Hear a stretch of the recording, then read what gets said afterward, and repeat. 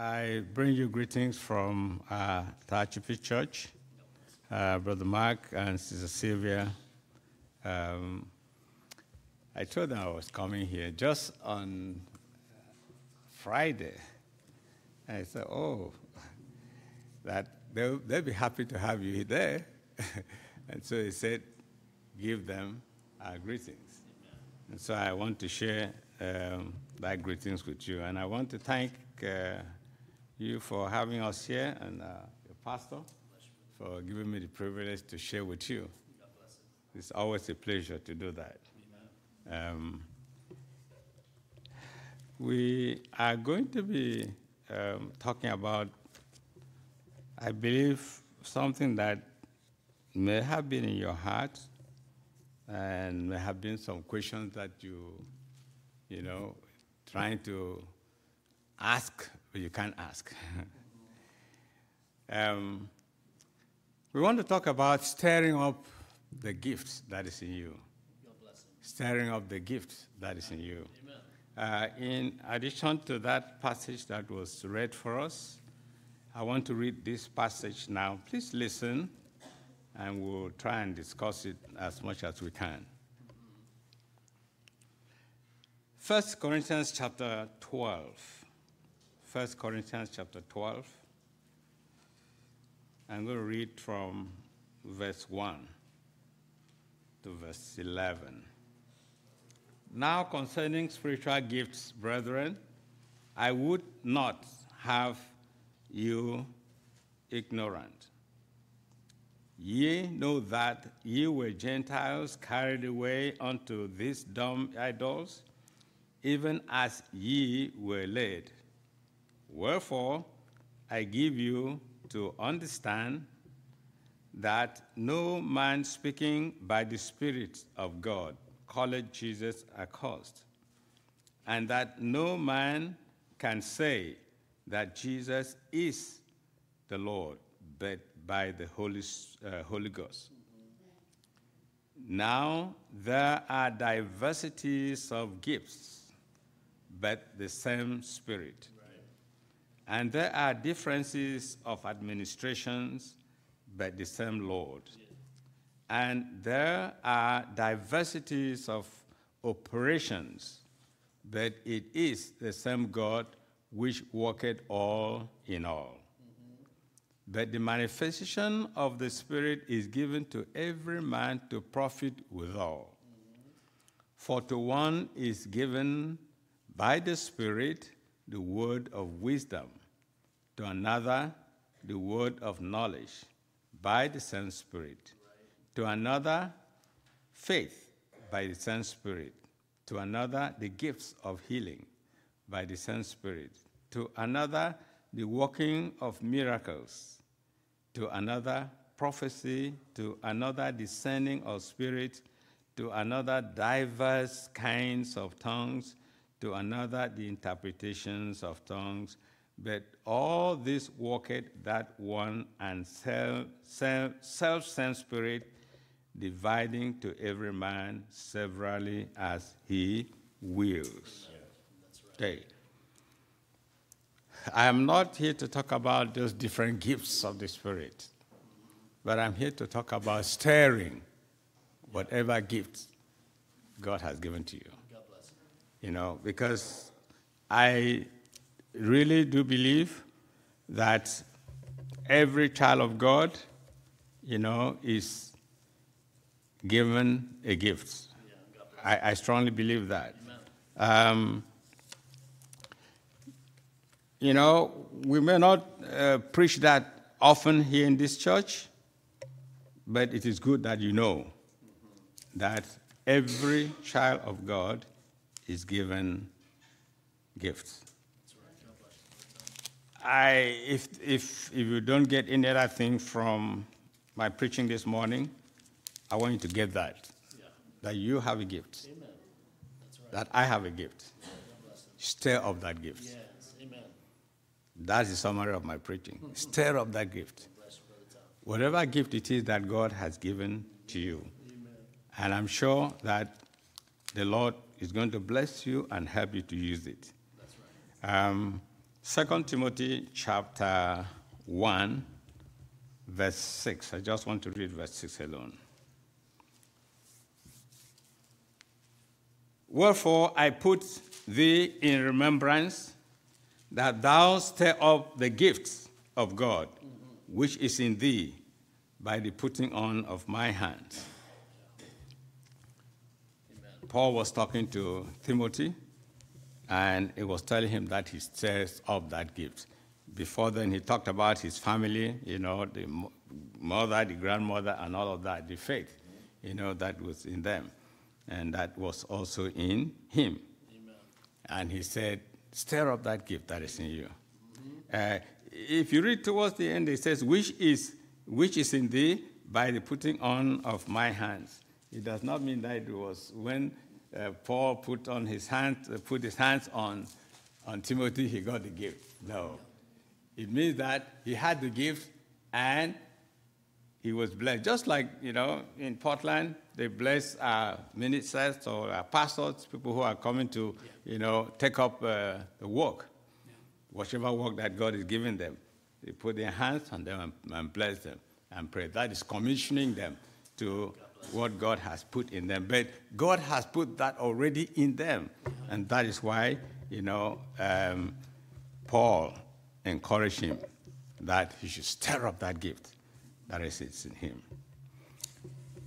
I want to start first by saying that the most important gift that God has given to each and every one of us who are saved is the salvation of our soul. Is, is, that not wonderful? It's the greatest gift that you can have. Thank God for that. I mean, without that, we wouldn't be sitting here. You know, without that, we can't even do anything for God. But Thank God for that great gift that came through Jesus Christ, through his sacrifice on the cross. You know, um, I do believe that each of us here have received that gift. If you have not, you have to seek for it. And it comes simply by honestly admitting your sins. Amen. Just be honest. Right. It's, not, it's not anything that you do that will bring that to you. It's just by being honest to God.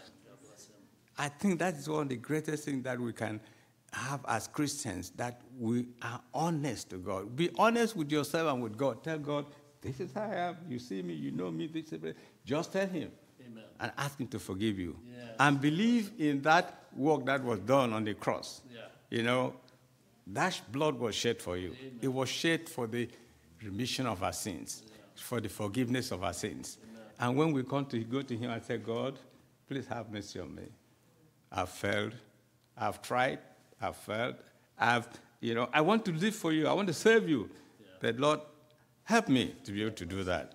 Amen. And as you confess those sins to God, God forgives you, and God gives you the grace to be a child of God, Amen. a son and a daughter of God, you know. And that's the greatest gift that we can have. Right. It's only after you have received that great gift of salvation, then you'll be able to use what other gifts that God has given to you. Thank God also for the experience of sanctification. Those are things that God has given to us to be able to even use whatever gift that is given to us. Not to talk of the baptism of the Holy Ghost. God gives us that. It's called power for service. Amen. It's not just service to come and stand here and preach. Not everybody is going to be, stand, uh, to be here to preach. But everybody will be able to do what God has called him or her to do whatever gift that He has given you. And I think that this is, you know, um, something that we need to know and believe in our heart, in our minds. Because if not so, we will just, you know, be, we can be discouraged, especially there are some of us here who have been here for a long time, and maybe you're not doing one thing or the other that other people can see. but I tell you, God has something for you. God has put something in you that you can do and you can be a blessing. Amen. You'll be a blessing to many. Right. Um, I just pray that God will help you to realize how important yeah. it is that you are there, that you are here, you know, in this church, for example, in this organization. I pray you help, that God will help you to understand it, that you are important. Yes. Amen. You are important. Right. God is not, has not just put you here for nothing. God did not save you for nothing. Right. You know, and certainly since all of us are not going to be preachers, all of us are not going to be Sunday school teachers, then why am I here?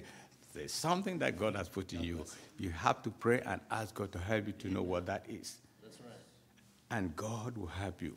And as Paul was, you know, encouraging um, Timothy, stir up that gift. Yeah. Stir it up. Amen. You know, don't despise it. Don't think it's. yeah, the, the, the, the, the portion that I read in, you know, uh, portion that I just read here uh, in Ephesians just tells you, sorry, in 1 Corinthians chapter 12, just it tries to explain to us that we, we, everyone is not going to be the hand, everyone is not going to be the head, everyone is not going to be the feet, you know? And you, you cannot say, oh, okay, because I, am the hand, I don't need the feet, I don't need the head, and all of that. It's, it can't work. Right. We are the body of Christ. We are the body. Amen. Each part very important. Right. Even the part that you think is not important is so important. Right. When you think about the people that clean, uh, you know, the, the restroom for us, mm-hmm. you think they're not important. I'm telling you, they are the most important people here in this group. Amen. You don't understand because it's not only just talking, staying here and talking, right. but doing what God has asked you. There are people who have the gift of, you know, just encouraging people. Mm-hmm. Stir it up. There are people who have the gift of, you know, you know being able to give. Yeah. Stir it up. Amen. There are people who have the gift of, you know, just, you know, visiting, writing letters, calling, and it's so, so many things.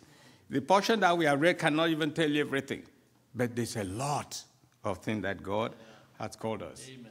And He wants us to stir it up.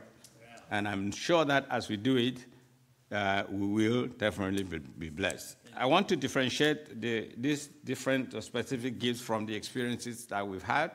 I've talked about that. The most important thing is the gift of salvation, of course, the sanctification. Then you have the baptism of the Holy Ghost. These are all necessary, and these are all what helps us to be able to use those gifts that He has uh, given to us.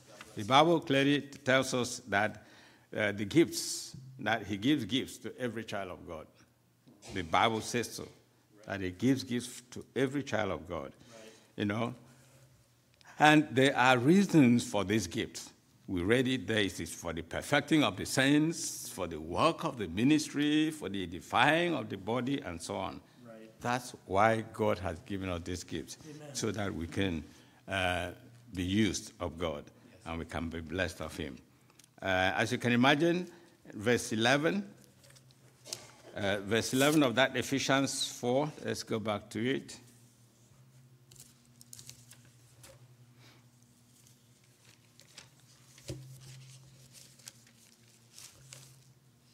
Okay, verse 11 of that Ephesians 4 says, And he gave some apostles, and some prophets, and some evangelists, and some pastors, and teachers, and so on. The rest of the verses says what I just said for the perfecting of the saints, for the work of the ministry, for the defying of the body, and all of that. You see, um, I want to emphasize that God has a gift for everybody. Right. God has a gift for me, God has a gift for you, and you have to recognize it. You know, as you can imagine, verse, that verse 11 does not give a full catalog of the different gifts.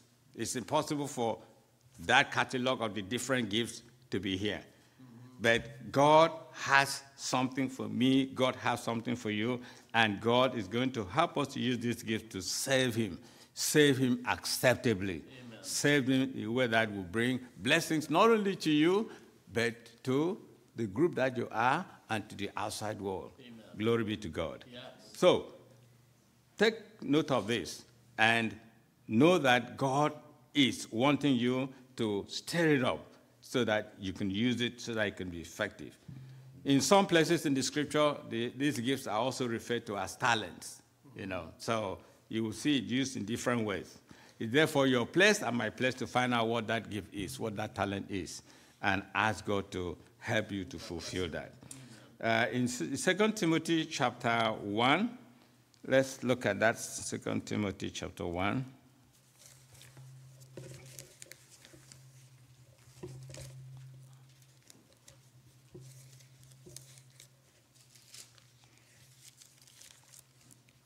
Okay, in 2 Timothy chapter 1, verse 6, it says, Wherefore I put wherefore I put thee in remembrance that thou stir up the gift of God which is in you. In that, Timothy, uh, 2 Timothy chapter 1, verse 6 indicates that Timothy was given these gifts. It's not by the laying on of hands, as I said earlier, but by the Spirit of God. Amen. God gives us severally according to um, uh, what the grace that He has given to us. That laying of hands, as I said earlier, is just prayer, maybe prayer for donation or commissioning. And that's what that was.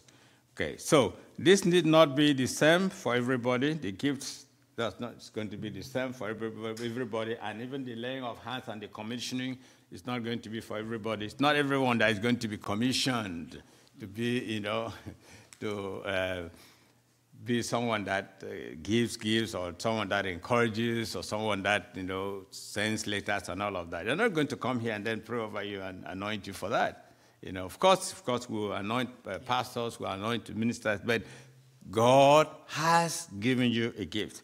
Recognize what it is, Amen. and the Holy Spirit is going to witness in your spirit right. that this is the gift He has given to you, and He will help you to Amen. use it. But again, you have to stir it up.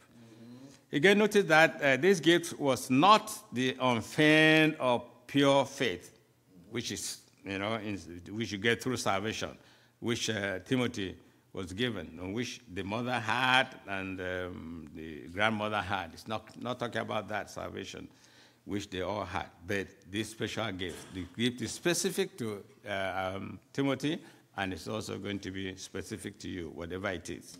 So, my question to you this morning is if you have been saved and have identified that gift before now, are you using it? Mm, God bless you. Or let me go back a step, just a step before then. If you have been saved, have you recognized the gift that God has given you? God bless you, you know, yeah. have you recognized it? If you have not been, I mean, if you have been saved and you have recognized it, are you using that gift that God has given to you? Okay. Uh, if not, today, uh, make it your prayer. Yeah. If you have really not identified that gift, make it your prayer. Amen. God, what gifts do you want? Do you have for me that I might yeah. save you? Amen. He's given you that gift already, but God revealed it to me. God, make me know it Amen. and make me, you know, rejoice in it yeah. and, and, be, and, and, be happy and, and use it. Um, the, the, the um, morning devotion that we had in, in the house before we came today, there was something that just struck me, and that is that we are not in competition. No. We are not in competition. Don't say that I am not the pastor or I am not the assistant pastor, I am not the choir master, and all of that. And so I have nothing really to do for God. No, no, no. God has something for you. God has something for you. Ask God to help you to know it, you know, and be prepared to do it. And another thing God put in my mind today concerning this is that, especially the younger ones, don't think that, don't think that this is your father's church or your sister's church and all of that. Take ownership of it. It is your own. Amen. The gospel is yours. Yes. Take ownership of it. Mm-hmm. This is so important because sooner or later you're going to go, you're going to be on your own, you're going to get work and whatever. And if you say, oh, that was my pastor or my father's church or my, and so on, then you don't take ownership of it. You'll find that you'll be pushed here and there by every wing of doctrine, you know. But if you take ownership of the gospel, yeah. Take ownership of the gift He's given to you. You are going to be happy. You're going to be a happy camper, as they say. And you're going to be able to serve God acceptably, and you will rejoicing in it. So, if you have been, if you have not been saved, first and foremost, this morning, ask God to save your soul. Ask God to forgive you. It's very simple, as I said, just be honest. When you come to you, when you come to Him in this al- altar of prayer, say, God, please have mercy on me. God, forgive my sins. And mean it. When you tell God that, mean it. And God will forgive you. And He will enable you to go and sin no more. It's not by our power, it's not by our strength. He says, it's by His Spirit. After that, you can then ask God to, you know, let you know what gift or what talent He's given to you. And once we've identified our gifts, Paul is admonishing you just as he admonished, Tim, as he admonished Timothy, stir up that gift. Stir up that gift. Stirring up our gifts implies that our gift is, you know, is may have been lying dormant, especially for those who have been saved for a long time. That's what it might mean. Situation in life may have diminished the zeal, you know, or effectiveness and so on. And so Paul is admonishing you and me, stir it up. Stir up that gift. Stir it up. Why do we need to stir up these gifts? Why? Consider when, you know, you are making tea, for example, or coffee, you know, when you, you have your coffee there, tea, and you put um, sugar. If you don't stir it up, what happens? It might, you know, sink to the bottom. Right. If you don't stir it up, you're not going to get the whole sweetness that you should get. God bless him. And so you need to stir it up. And so that you can, when you drink it, it becomes, you know, every part of that coffee is sweet and you can enjoy it.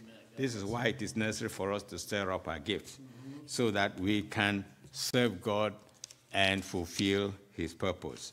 And we can serve him acceptably. Stirring can also be considered as farming into, uh, fanning into flame. It can be considered as keeping ablaze, rekindling, waking from sleep, or arousing, and so on. Activating, these are all different you know, words you can use for that. And so, what would be a better time to do that than now? To go to God in prayer and say, don't, don't, don't, don't we all need to stir up our gifts? Yes, even the pastors, even the ministers, even the, uh, chorus- we all need to stir up that gift. We want to pray, fan it to flame, you know, reclaim it. Let, let God bring it up so that we can serve Him more acceptably. And His name is going to be praised.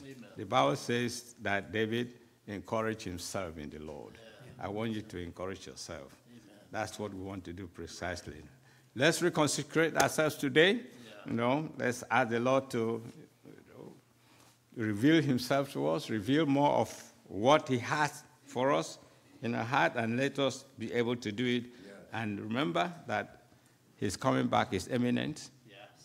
We want to do whatever we can do before the Lord comes.